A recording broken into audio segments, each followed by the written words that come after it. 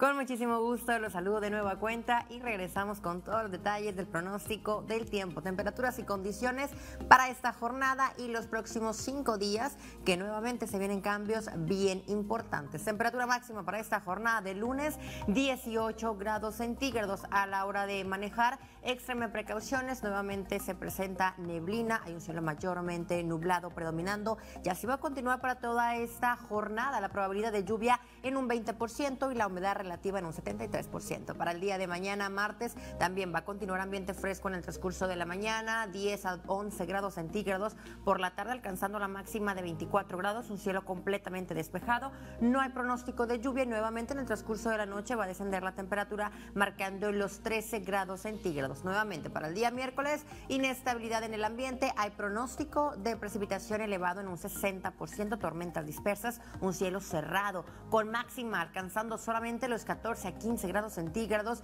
mínimas entre los 11 a los 13 grados Celsius. También para el día jueves, así va a continuar. Un cielo cerrado, probabilidad de lluvia en un 50%, la máxima de 16 con mínima de 12 grados centígrados. Y para el día viernes, otra vez un fin de semana bastante fresco. En el transcurso de la mañana, la temperatura marcando un solo dígito de 8 a 9 grados centígrados. Por la tarde, alcanzando solamente 12 grados. Otra vez por la noche desciende la temperatura. Ya para el día sábado sale el solecito, se despeja completamente el cielo. La temperatura por la tarde va a continuar algo fresca, 17 a 18 grados centígrados. Y ya en el transcurso de la noche y también por la mañana, el termómetro oscilando de los 9 a los 12 grados centígrados. Le comento lo más relevante que está sucediendo a nivel nacional. Hay un nuevo sistema frontal, el número 24 de la temporada, que esto mismo está generando un descenso marcado en las temperaturas para nuestro estado de Nuevo León, también para Coahuila, para Tamaulipas, también para Chihuahua, como lo estamos viendo con temperaturas por la noche de los 6 a los 7 grados centígrados, con máxima solamente alcanzando